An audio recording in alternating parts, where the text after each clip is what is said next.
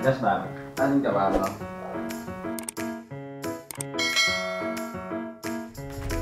Masayang araw mga Caps! This is Jake. I am Waki. Do not forget to click like and subscribe to our channel. For more interesting videos like this.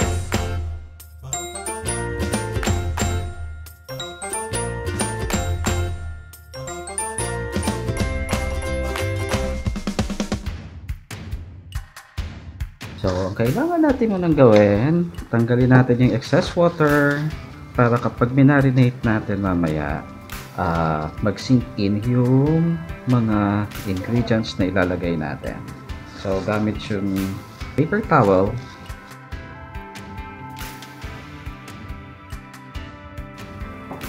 So, imamarinate na natin ang ating steak using salt salt both sides. Tapos lagyan natin ng black pepper on both sides then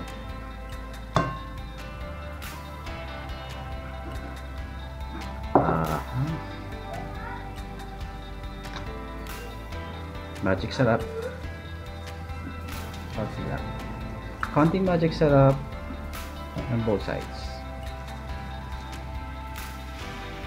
and of course. Lalagyan natin ng olive oil para mabilis mag sink in yung seasoning natin. Okay both sides lang yan. So more or less mga sa isang ganitong laking uh, karne ng baka uh, mga 1 tablespoon of olive oil So, ito na yung na-marinate natin. Itatabi natin dito.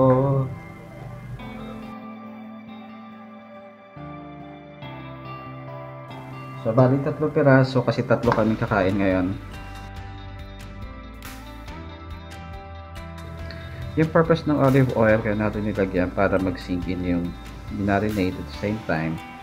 Uh, para pag nilagay natin mamaya sa griller, ano siya, hindi siya delicate. But of course, meron, meron kasing distinct taste yung uh, ating olive oil. Kaya mas lalong sasarap yung meat. So, ganun lang kasimple. Pag marinate ito, uh, set aside lang natin to for um, 45 minutes to 1 hour. Siyempre, hindi sila magkakasa sa isang plato, di ba? So, yan na yung ating steak. So ito, lalagyan natin siya ng rosemary. Ayaw, ayaw syempre lumabas. Kasi yung rosemary, yan yung mag uh, pampabango. So naamoy ko na yung amoy ng rosemary actually. Ang ginamit natin pang marinate kanina, salt, pepper, magic sarap, olive oil, at saka rosemary. Actually yung rosemary yung pampabango. At syempre, nag induce din siya ng lasa para sa meat. Ganito lang kasimple ang pag-marinate ng ating T-bone steak. So, magluluto na tayo ng ating uh, patatas. So, lagyan natin ng konting salt.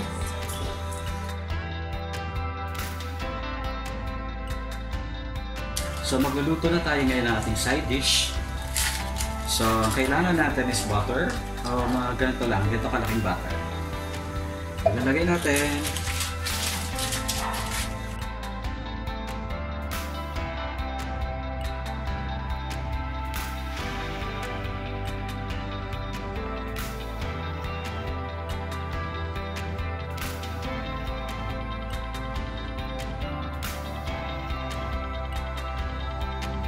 Kaya natin na magic.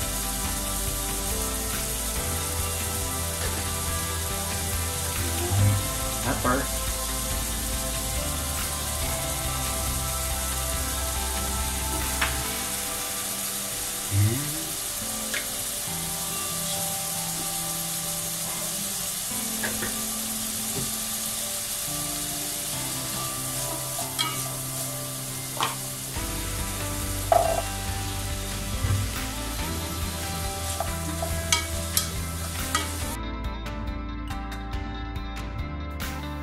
So habang nagluluto tayo ng ating um, mixed vegetables, nagpapakulo na rin ako ng patatas dito. So sabay na siya. Later, ang gagawin naman natin, lulutuin na natin yung steak. So, prepare natin itong ating mixed vegetables. Ah, konting luto lang itong mga gulay para hindi siya ma-overcook. So, papatay na natin siya. And then, yan na. Cover. Set aside na natin. So, ito na yung ating mixed vegetables. So, check natin yung ating So, hindi pa siya luto. Muna natin siya paluto. check natin uli yung ating um, patatas kung luto na. Konti pa. Okay, so habang nagluluto tayo ng ating patatas, ah, sisimulan na natin lutuin yung ating ah, steak. So gamit ito, ito yung gagamitin natin para paglutuan ng steak natin. So isasalag lang, preheat lang natin. Ito yung ating steak na lulutuin. So nagpipreheat na tayo ng ating pan.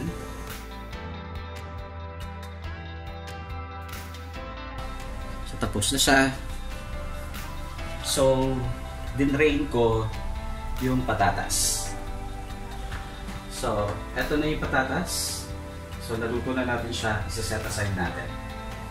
So, mainit na yung ating ah, pan. So, sisimulan na natin yung pagluluto ng ating steak.